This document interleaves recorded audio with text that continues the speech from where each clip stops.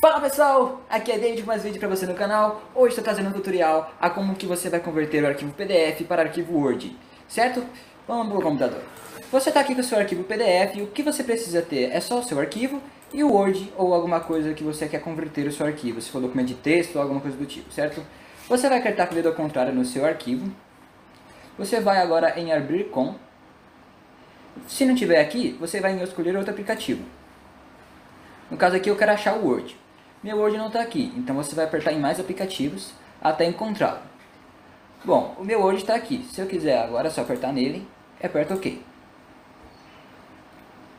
Vai aparecer a mensagem que agora o Word está em PDF, documento editável, você pode editar o seu arquivo, certo? Espero carregar um pouco aqui. Ok? Este PDF contém recursos intera interativos aos quais o Refluxo PDF não dá suporte. Pronto, você ignora isso e aperta OK. Vai estar aberto aqui o seu documento, você já pode editar ele e tal. Agora, vem aqui comigo. Se você não achou o seu documento ali do Word, se não apareceu ali, o que, que vocês fazem? Você vai abrir o Word aqui, vai puxar ele para a sua área de trabalho, certo?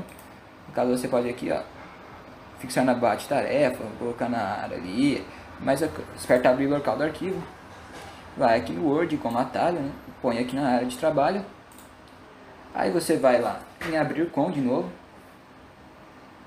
Vai escolher outro aplicativo. Mais aplicativos e suponhamos que o Word não está aqui.